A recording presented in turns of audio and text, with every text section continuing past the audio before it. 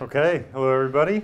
So, I, you know, after seeing the first, you know, day and a half here, I almost felt bad talking about reinforcement learning and molecular generation again. Um, but I promise you, there, there are there are a few uh, a few new things. Uh, buried in here and a new way of looking at, uh, at, at, this problem. So if you feel like you've seen it all before, you, I promise you there'll be things in here you haven't.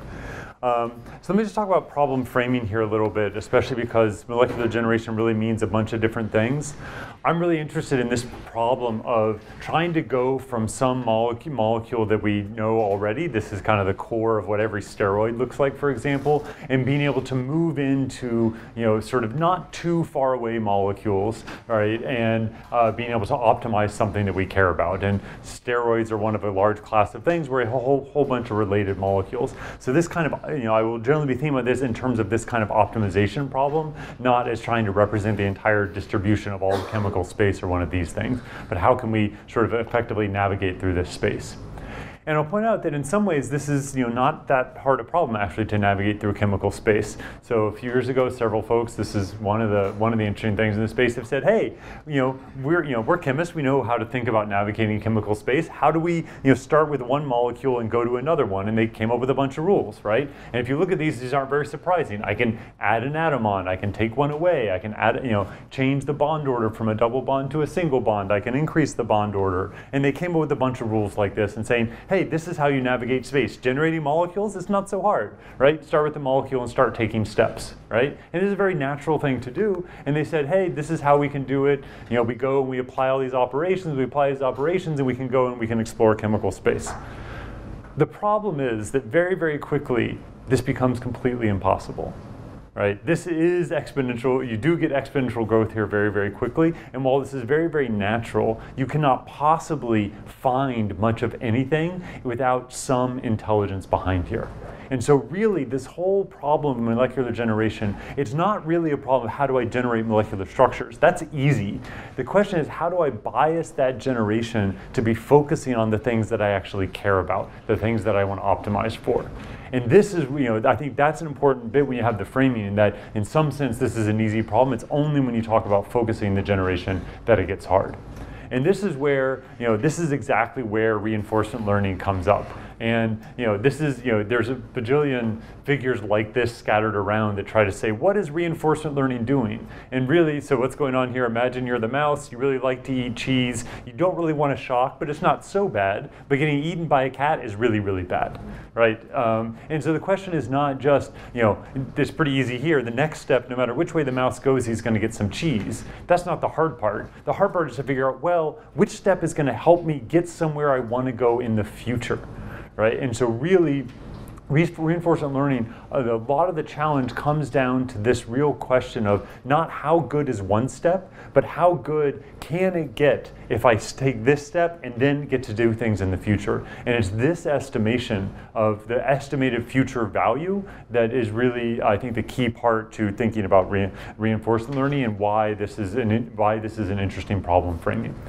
Now, you often see, sort of see this back and forth between this, what's the value of me taking this action, or which action should I, could, I can take. And these uh, are in, end up being very complementary ways to, uh, to frame this problem. I have a particular choice here, but they're, they're, they're you can sort of frame this in, in, in either way and get to very similar kinds of answers. So let me be slightly more formal here in, in talking about how, in, in order to make some of the, the, later slides make more sense.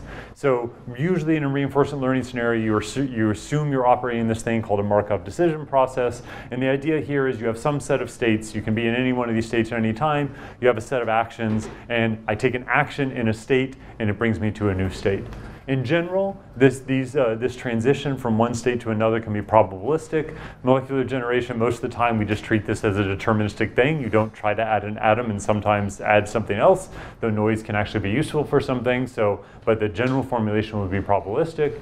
And then, you, and then the other main part of defining the environment is what's the reward for being in some state, right? So you've seen all this stuff before. Let me just give you a couple of terms here. We'll talk about a policy, which is just what, what action am I going to take in a given state state. In general, this could be probabilistic. Let's just talk about a deterministic here. It's normal to use pi for that. And then we have a public, I want to you know, formalize these concepts I, uh, I mentioned before a little bit. One is the value of being in a given state, and this is a function of the policy. And what I mean by this is this is not just the reward I'm going to get right now, but some sum over all future time of all the rewards I'm going to get. Right? So that is the value function. So it's a function of the state. Now, you may have heard all these things about Q learning and all this stuff and all these funny words, and we even call our thing mole DQN, right? And that's because the, the, the, the other part of this is a Q function which says the value of taking an action in a given state, not the value of the state, but the value of a particular action.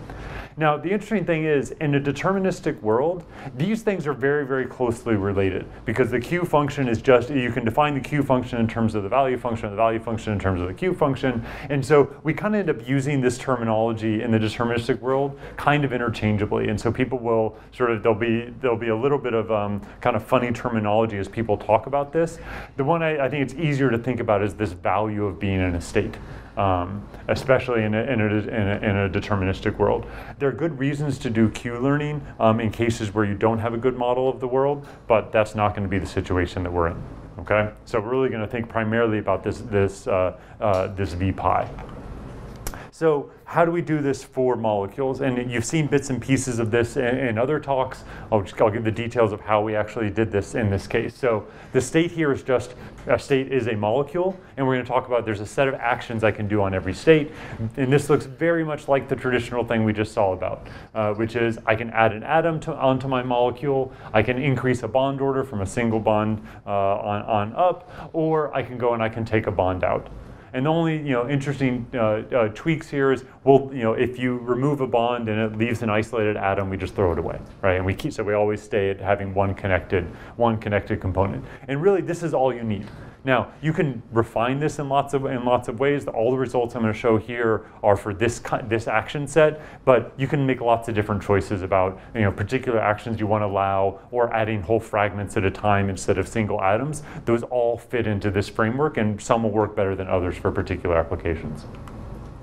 So this is an illustration of the entire action set I just showed you, showed you starting from this molecule right here. And all the little yellow uh, highlights are all the things that we're, we're doing to this molecule and taking all these steps. And this is going to illustrate one of the important problems in this, in this whole area is doing this, you very, very quickly get to very large action spaces. We'll come back to this uh, in, uh, in, in, a few minutes, but um, this is the type of thing that, that we get to do. Now, this has a natural um, uh, value for doing things this way that you kind of stay nearby where you are. So one of the problems that we, that we have throughout um, property models predicting the property of some molecule is it's not clear how it works when I go to a completely different molecule. And so one of the advantages that you actually have with this kind of action space, you actually get to decide what's nearby, right? By defining your actions, you define what's nearby and you define what's, what's more accessible. And that can be actually be a big benefit for controlling where your model is exploring and controlling how far away it goes. So what do we actually do with this thing? So I talked about this, uh, this, this important value function, this value function as a, uh, which is parameterized by the policy. And this is, this is, this is the definition that we, that we uh, typically use. So you have some reward that you get right now. Uh, sorry, this is, the idea is the value is the sum over all future time right? So over all the time steps I'm going to take in the future, over the rewards I'm going to get, and then this is some discount factor. The idea is that I would rather get rewards now than waiting infinitely far in the future. And so that's all that's all that's all that this that, that this that that gamma is. And so this is the definition of what the value function is, right? Now, um, you can't actually typically compute this directly, so what do you do? Right? And this is where this thing temporal difference learning comes in. So the idea is that I can define this value function in, in terms of the, expect, the expected value of my policy of the reward right now plus the value of my next state. And this is the re reason all this, all this stuff works is that you can decompose it in this way. And then this right here becomes the target of what you want to learn.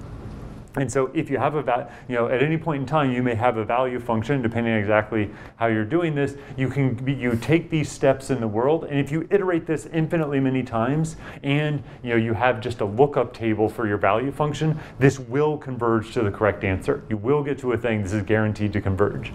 what's happened in modern RL is that we don't do this with a giant lookup table. Instead, we, you know, this thing over here, this, this uh, v pi, we're now going to approximate this with a neural network.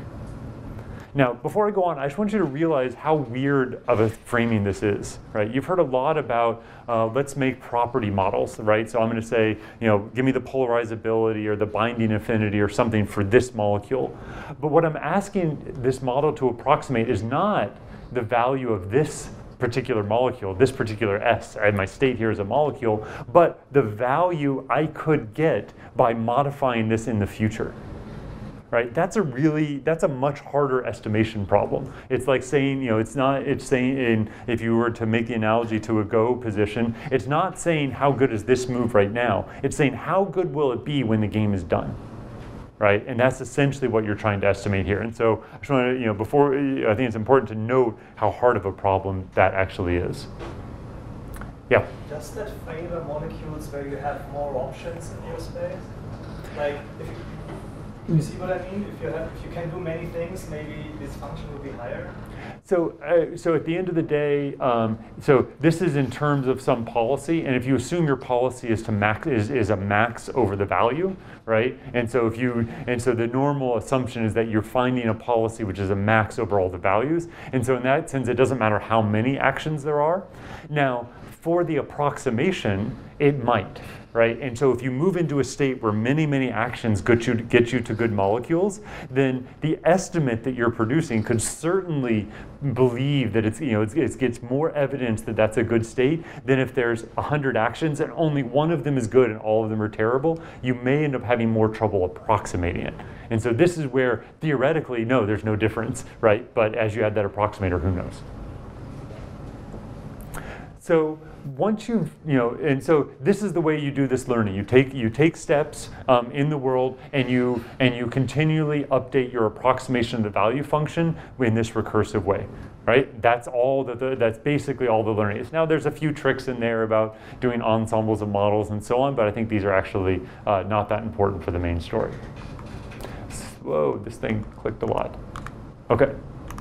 Um, so what does this actually look like? So what I'm showing here is for this particular molecule here, and here we're doing one of these, uh, the, these tasks that are uh, you've seen before. This is actually QED, which is a particular computational property of, uh, of a small molecule. It's a little bit of a boring property, but it's a good, uh, it's, it's, a, it's, a, it's a fine benchmark kind of task. And what this is showing here is this is a kind of relative value that the model believes for taking particular actions. And so these are all of the, the, the atom addition actions. And so you can see like adding this oxygen over here, the model thinks is not very good. So it's very light because it has a low value. Whereas adding this the oxygen over here or extending or, ext or increasing the bond order over here are all considered positive things. And this is the type of stuff that you actually get out, right? And so at the end of the day, you you have a molecule, you look at all these actions, and then you you know you, go and say, okay, I'm going to go add the one that looks best. I'm going to add some randomness, I have an exploration strategy, etc. But this is basically what, the reinforcement learning is doing. But it all depends on that value function being a, being a good estimate of these expected future rewards.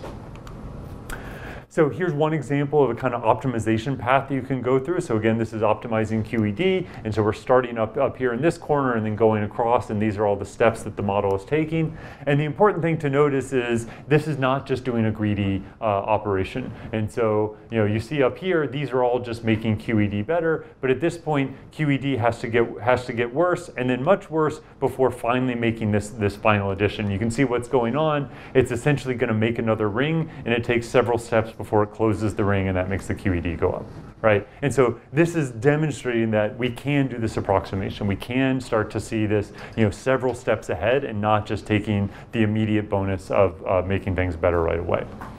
Um, so that's you know in, in, uh, in the in the, the paper backing this up we sort of show, show more examples of to make this a little bit more quantitative so the other nice thing you can do here is there's natural ways to do multi-objective optimization now, I should say here, people actually mean several different things by multi-objective optimization. I'm going to give the I will say the lamest form of multi-objection optimization, which is just that I have a couple of different um, uh, objectives and I'm going to give you a static weight for them.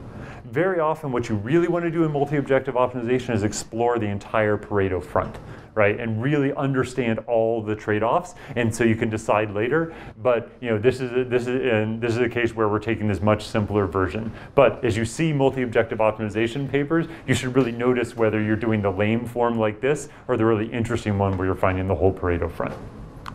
So what we did here is we took that same QED that we've been talking about here and we added similarity to some starting molecule. So the idea being this is you know very much analogous to the types of tasks that actually come up when you're doing a lot of optimization, which is you want to stay kind of nearby where you are, but you want to increase some property. And so the reason we did this task is this is very much analogous to what comes up often. And so this first case here, so I'm going to show a bunch of plots that look like this. This is with the weight of zero, meaning I actually don't care about the similarity. I'm all going I'm only going to optimize QED. And so what this plot is showing here is the x-axis here is, simil is similarity to my original molecule. The y-axis is QED. This horizontal line is where I started, and that and this horizontal line is exactly the starting molecule. And so, perhaps unsurprisingly, what you see if you tell it not to care about similarity at all, the similarity goes down near, you know, very, very low very quickly, but we improve, we, but we improve QED. But, I, but then we can do a sweep through um, the, the weighting of this space.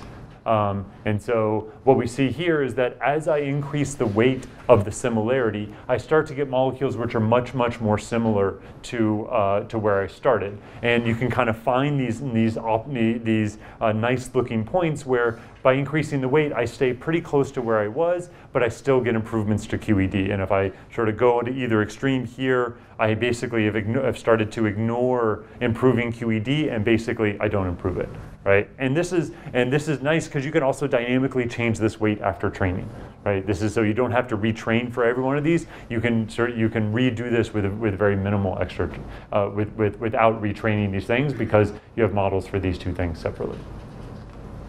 And so, you know, overall, you can then, you know, generate these things saying, okay, what's the distribution of improvements I get? And you can see I get, um, uh, you know, I, as I focus more on, on, on improving on, uh, on improving QE, QED, I get that, and then I and I, I lose the similarity. Okay. So I want us to make one note here. So this is a this is a, a, a figure from uh, from our paper, and you've seen other things talking about this log p. Um, and so you know this is probably not you've seen versions of this particular chart before, saying, hey, look look how much better my log p value got uh, as a result of doing this, and it's way better than kind of simpler things you would do. But there's a really important thing on this chart, which is this line right here.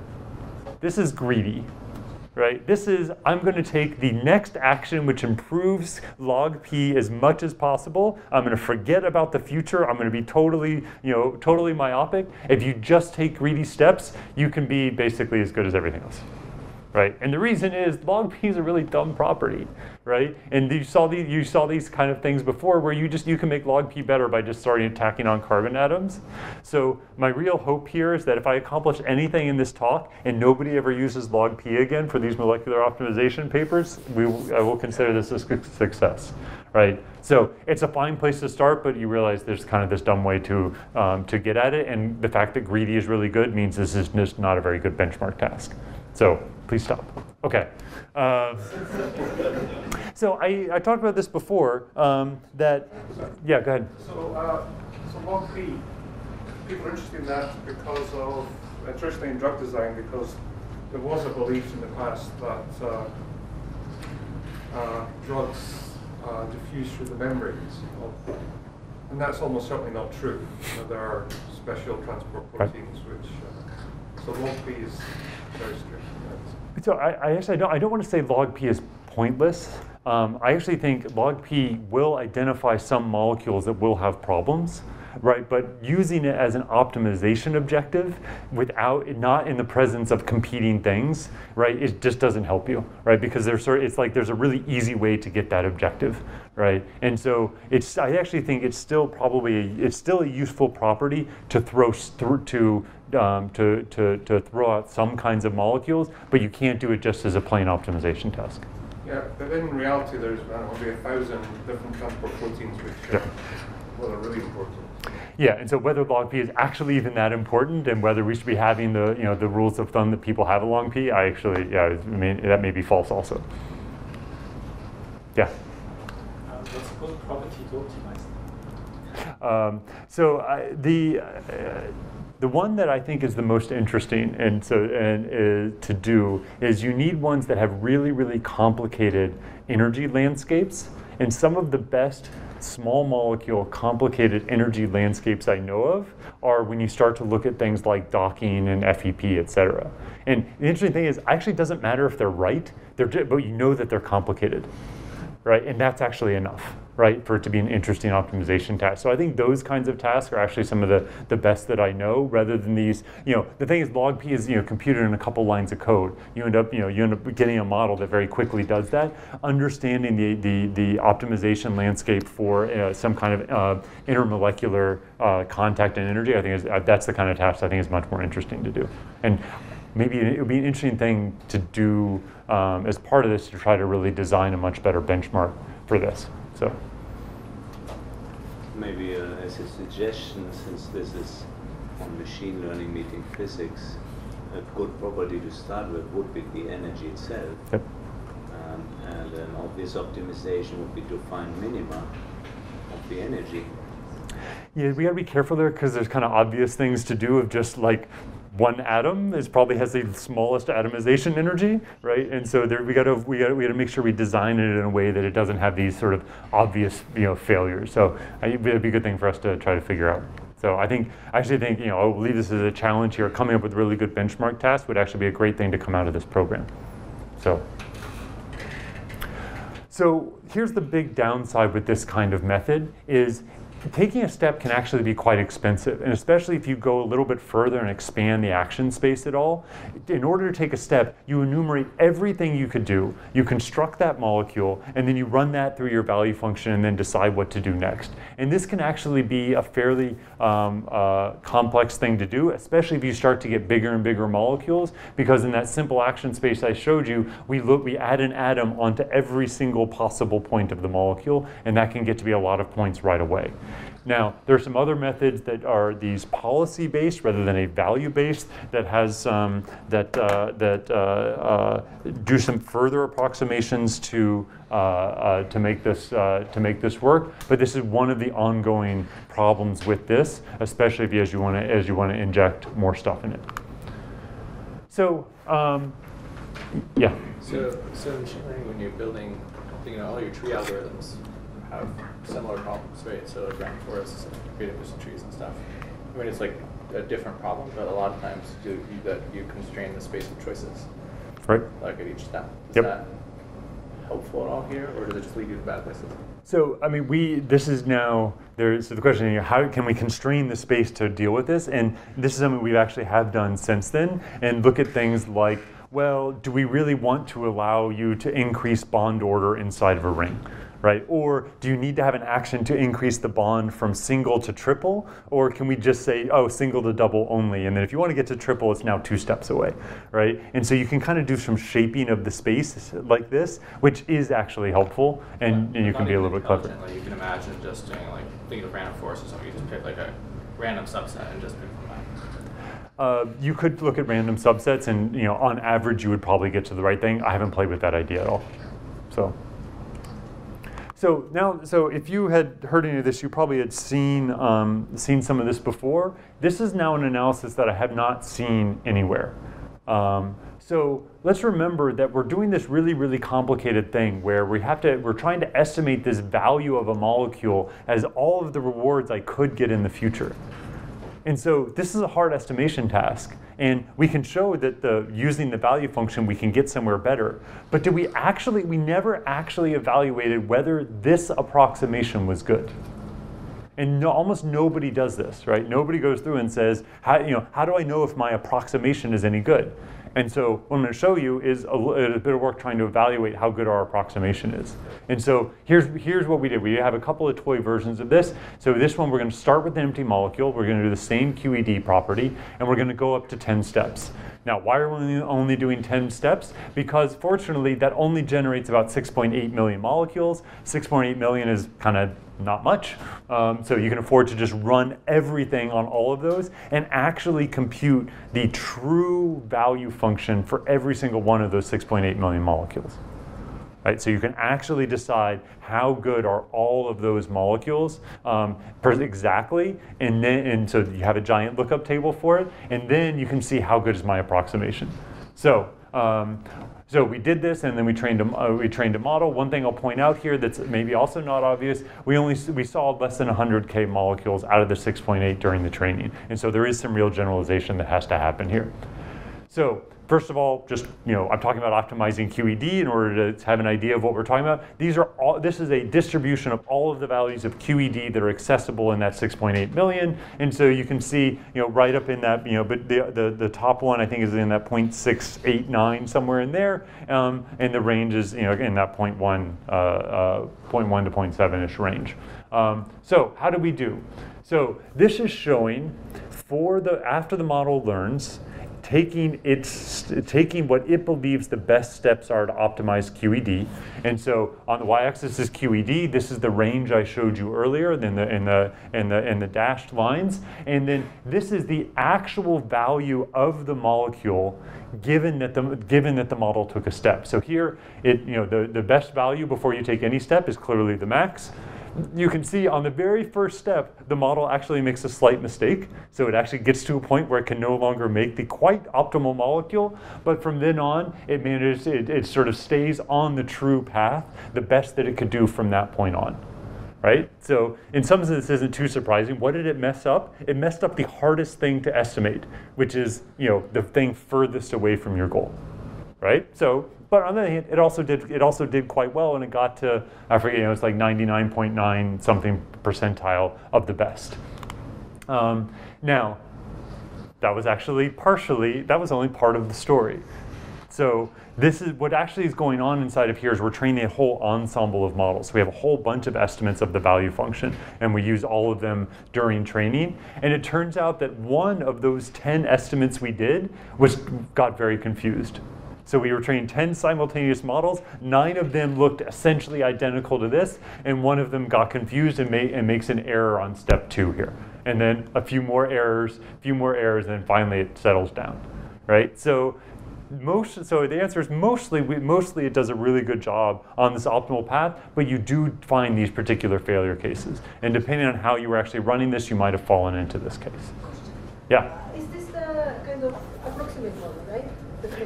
So this is the true value uh, of, you know, given that the model took the step that it thought was best. Right? And so the true value at this point, uh, it could have still gotten. What but is the model? The model is the policy or is it the. The model is, the model is this, is the estimating this value function. So there's a true value function, which we're able to actually calculate, and then there's the estimated value function. And so these are the steps from the estimated value function. Um, so Here's another way to look at this. So this is the this is showing the true value of the action of a, of a um, so let me just sorry let me, let me frame this right. So this is on the path that the model thinks is best at the end of the day.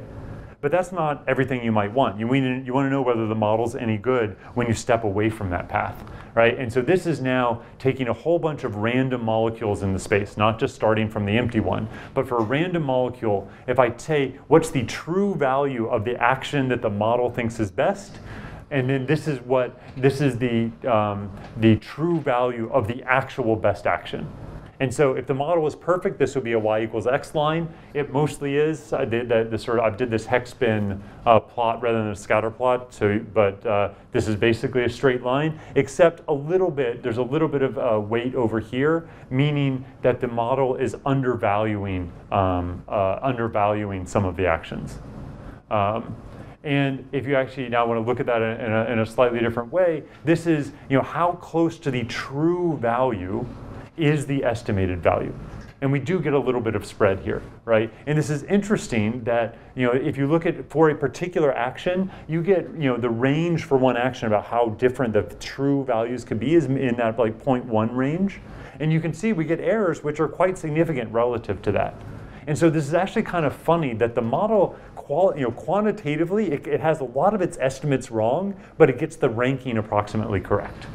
And that's kind of the moral of what we're able to find through this is that where the ranking is better than the absolute values, even for this really, really toy problem.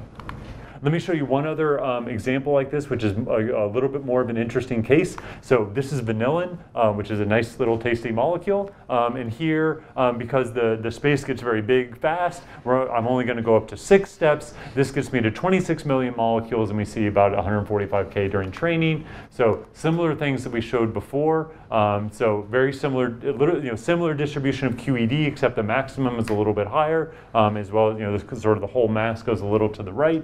And here we see that in this case, in this case, the model is essentially able to do essentially optimal, right? Now, the interesting thing is, until the very last step, right, it's, the model can basically always recover. So these are all the possible actions the model could take.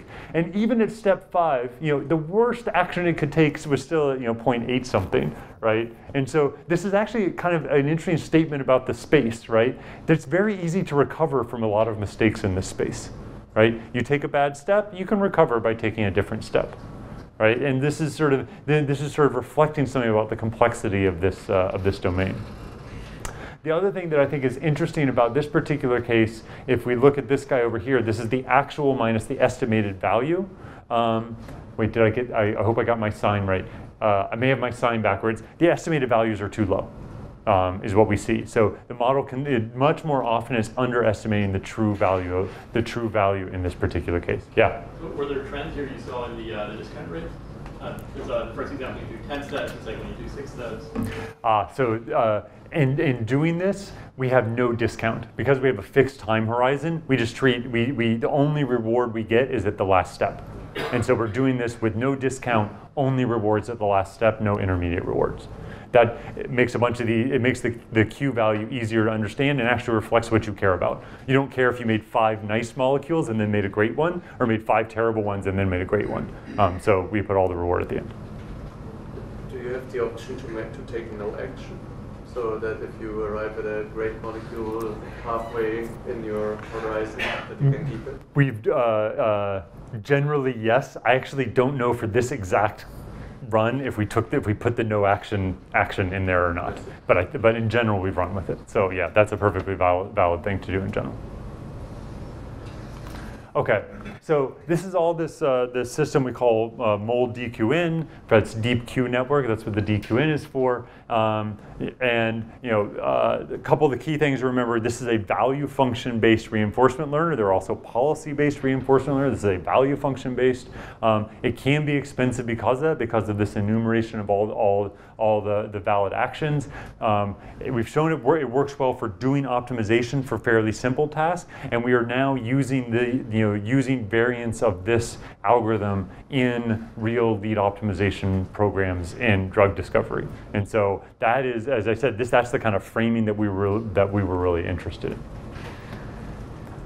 So um, let me make a, a little a, a, little interlude here um, before I give you. I'm to spend a couple minutes on one on one more thing. So we've heard a lot about smiles versus graph representations, and I will tell you that I am not a fan of using smiles representations as a way to do learning, right? And so these are examples of smile strings over here, um, and uh, the and you know if, if you don't much chemistry, you can kind of see things. You can guess the equal sign represents a double bond because that's what it looks like in the graph, right? But here's one of the reasons I hate smile strings, all of those things over there are all vanillin. Those are all perfectly valid representations of the same molecule, right? That should bother you. That should bother you a little bit, especially when these things look quite different. But even more than that, as, as alluded to earlier, there's this annoying syntax here. So this is one of the um, for this particular molecule here. It turns out these two guys right here, these are actually these atoms right here that have a bond between them right? And it, it, seems to me that we are just making our life too hard if we are asking our models to learn enough about the syntax to then go back and reconstruction, reconstruct that these two guys are connected in the same way that these two guys are connected. So I am a big, you know, now I want to say people have done some good stuff with smiles, and there's been a bunch, there actually have been effective for a number of things, but it, I really believe there's going to be a wall of how far you can get. And so personally, I'm only focusing on these graph-based representations. Yeah. Sure. But also, it's a curse, but also a blessing. It's a free data augmentation. And actually, all the things. actually, it was immensely helpful because data set is small and then you multiply it you know, 10, 100 times.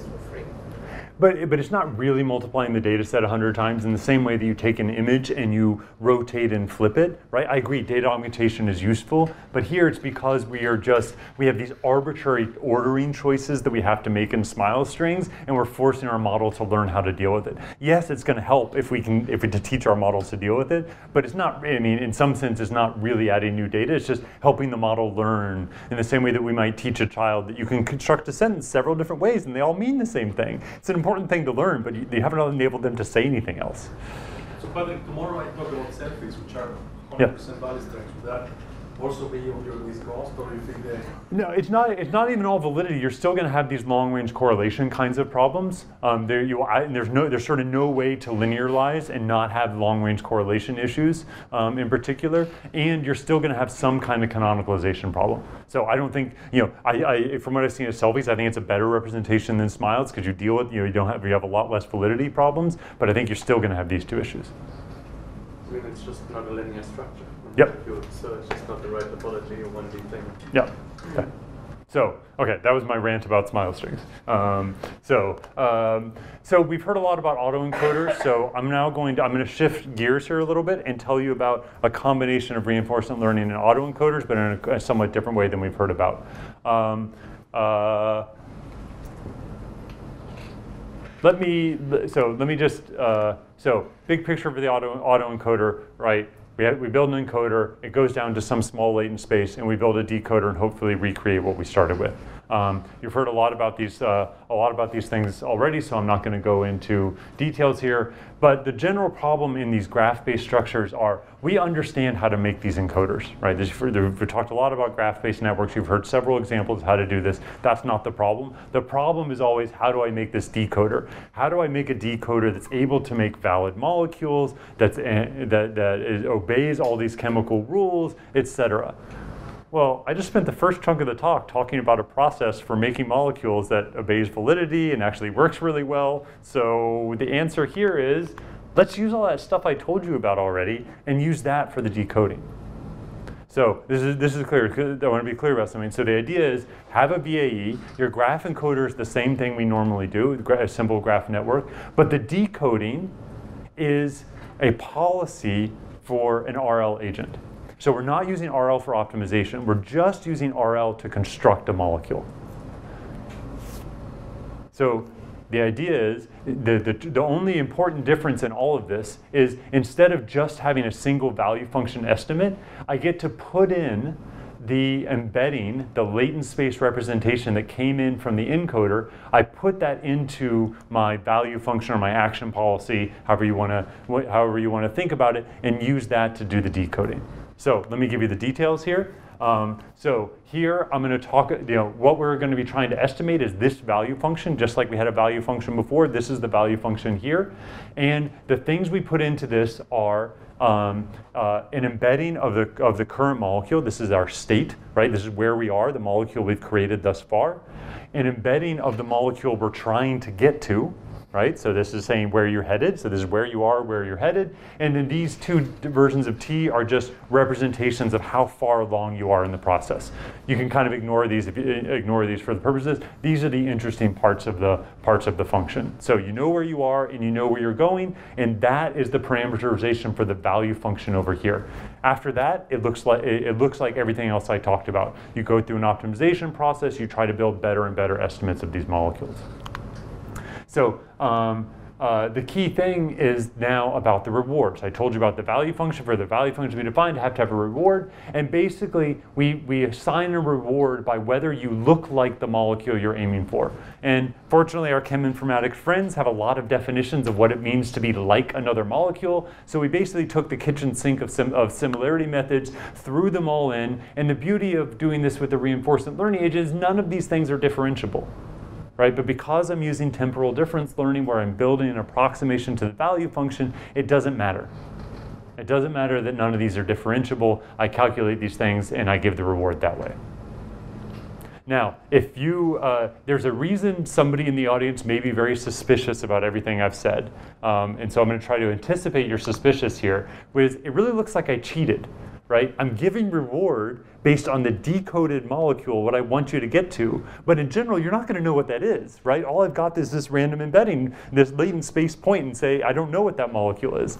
The reason this doesn't matter, you only need the reward during training right? So this is like, you know, you teach your dog to do some tricks and you give them a, and you give them a, a, a treat every time they do the trick. Then when they perform, you just don't give them the treat anymore. They're still going to do the trick right? They may not do it for long, eventually they'll get mad at you because they're still learning. But after they've learned, you don't have to give the rewards anymore. The value function, you can use the value function still to do this. And so all I need is any point in the latent space, that's this guy right here. This is my latent space target. I can pick any point and whether or not I know what molecule it corresponds to, and I run it through and I see what comes out.